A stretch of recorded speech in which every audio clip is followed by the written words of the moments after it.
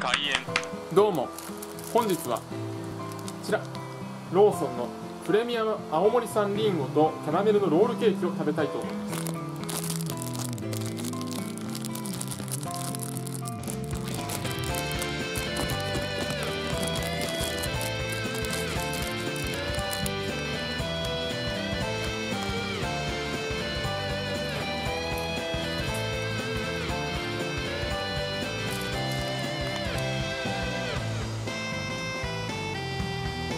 ではいただきます。